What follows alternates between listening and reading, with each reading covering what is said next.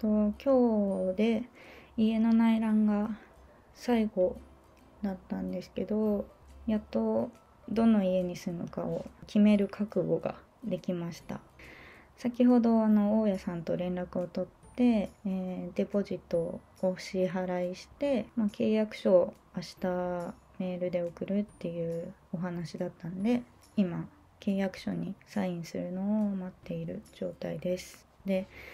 まあ、デポジットを無事送金できたのは良かったんですけども送金するのに手間取りまして私レボリュートというカードを日本で注文して作っていったんですけどレボリュートのカードだと、えー日本の住所で登録して作ったので、まあ、あの現地通貨に交換するのは手数料無料でできるし現地での支払いも手数料無料で交換した通貨で日々のお支払いをできるんですけども私はそのレボリュートのカードで最初の家のデポジットを払おうと思っていたんですね。で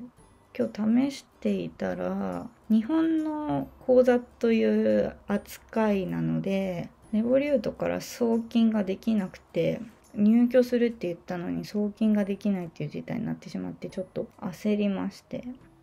でどうしようかなって思った時にまあ、日本の銀行の口座から直接大家さんの銀行の口座に国際送金をするっていう手段が簡単で楽だったんですけども手数料が数千円かかるんですね。まあ一般的に日本の銀行から海外の銀行に送金すると、まあ、数千円の手数料がかかるのは一般的なことなんですけどそれが嫌だなと思ってトランスファーワイズのアカウントを持ってなかったんでその場でトランスファーワイズを作りました。でトランスファーワイズは少額の手数料で国際送金ができるっていうのですごい有名な会社なんですけど。で、まあ、手数料のためにそのトランスファーワイズを作りましていろいろやってたんですけど日本のクレジットカードで支払おうと思ったんですけど日本のクレジットカードを使ってしまうと手数料が高くなるので、まあ、それは NG だと思って。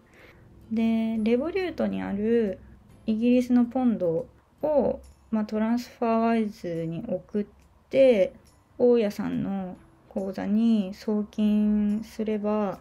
手数料が安くなるかなと思って、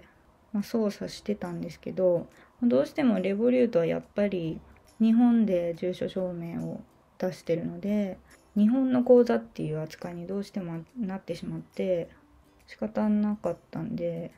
もう国際送金の扱いでトランスファーワイズを使って大家さんの家に振り込みました。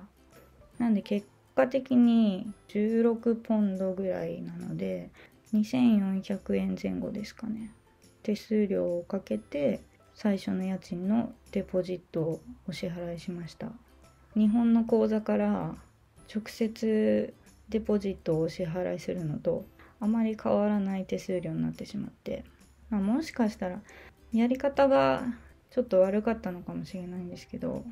あの大家さんがお振り込みをその場で待ってくれてるのが分かってたので手数料かかってしまいましたが今日は送金しました、まあ、でもイギリスの口座ができてポンドで送金できるようになれば、まあ、その問題はなくなるので、まあ、最初の1回だけは仕方がないのかなと思いました。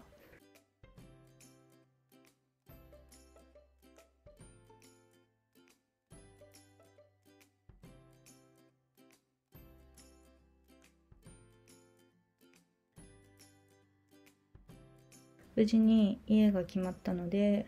今度は仕事探しを始めようと思います。では今日はここら辺で終了します。